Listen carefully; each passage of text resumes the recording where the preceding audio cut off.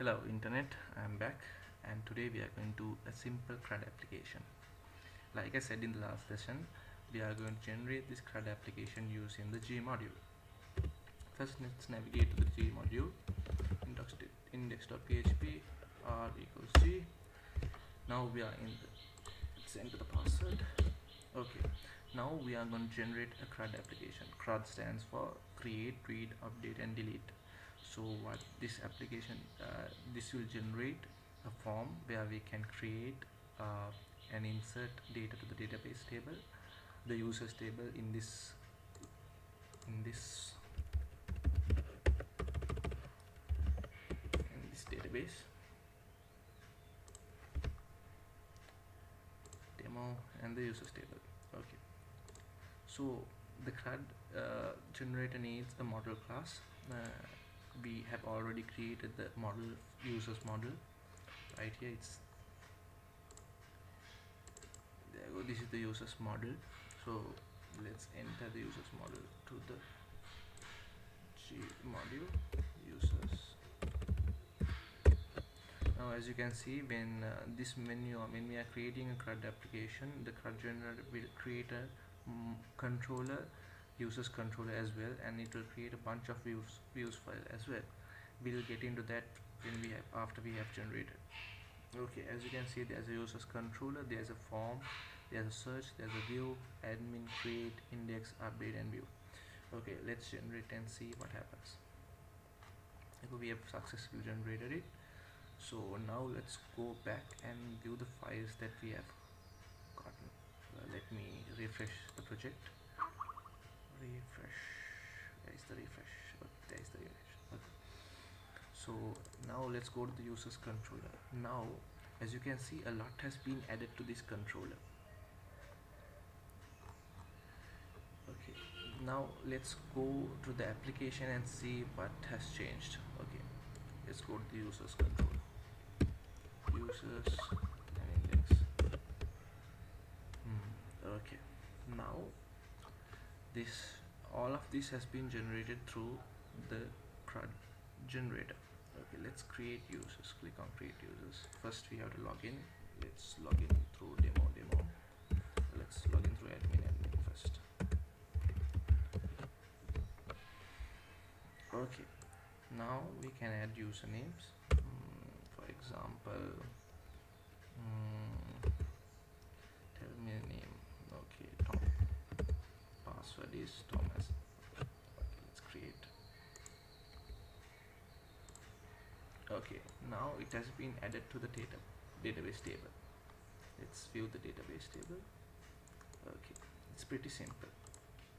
So how are they doing this? Let's view this in detail. Uh, firstly what happens is we have uh, this action create gets called as you can see the users is the controller name and the create is the name of the action. So this when you when we type in this url it calls this function action create. Let's clarify that. Let's die here and check. You are in the create function. Let's refresh. Okay you are in the create function. Okay. Now we know uh, that url calls this function okay firstly in this function we can see that user there is a model ob object is created from the users class.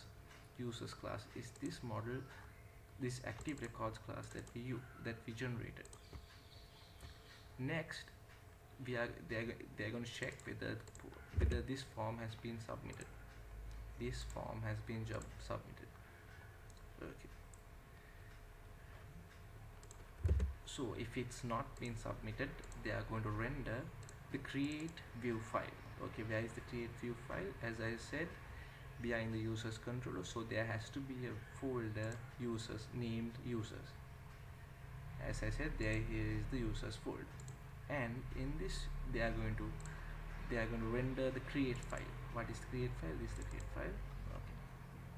So this uh, this is the view file that is being shown here. Let's change this heading. First create users to create users uh, users and do stuff.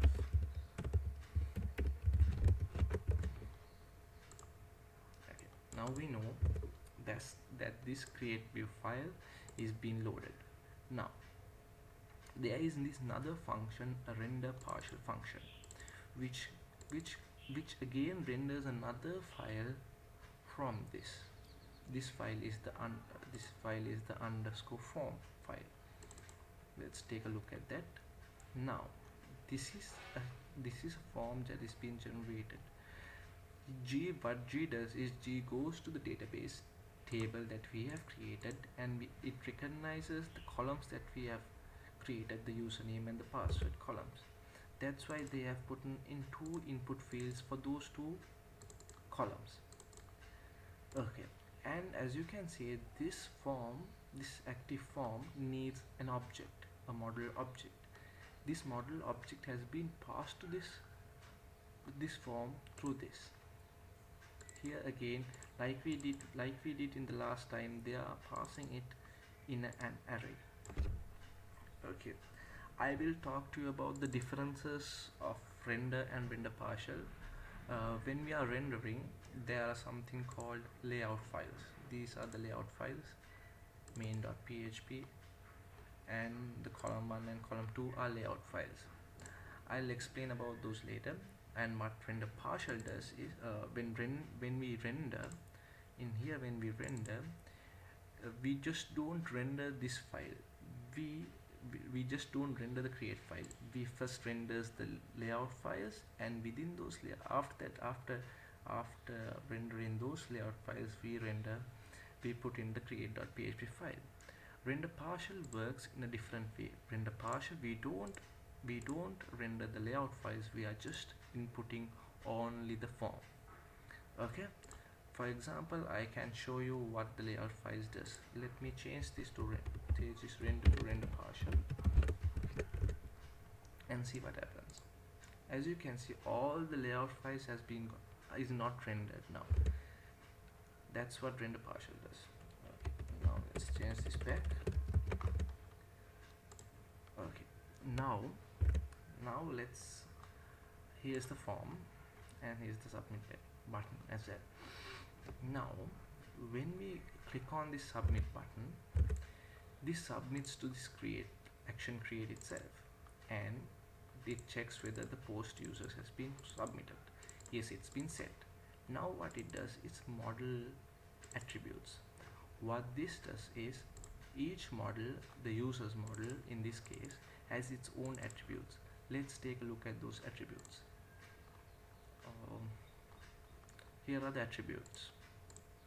Username and the password so what they are doing is they are assigning the values of this form to these attributes models attributes. So the username and the password. And then they uh, he has a function called save which inserts the data into the database record. And then it redirects to a views file. Again I'll, I'll add another name uh, Henry password is 123 and as you can see the username is Henry and password here. As you can see this is another view file. So this gets direct to another views file. The views file is also in the users directory right there. Okay pretty simple. Now that is the create functionality. Okay?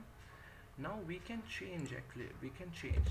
Since let's go back to the create users now since this is a password field we do not want to enter the same as uh, same as the user input. We we want to do we want to encrypt this in md5 and insert it to the database table.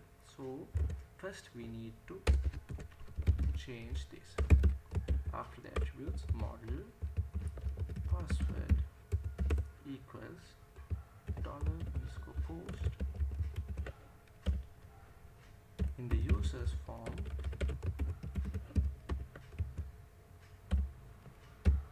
The password attribute. Let's let me first die this and show you that the when the form submits this is the value we get.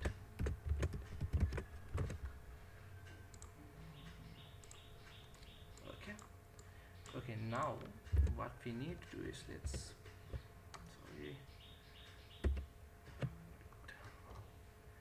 let's uh, first put this to another password variable. Password equals to this. Now we want to encrypt this password. We will encrypt it by the use of md5 function. And we'll insert password. Okay. Now after doing that let me just put this let's put it in okay now let's insert again and check what happens. Let's refresh this.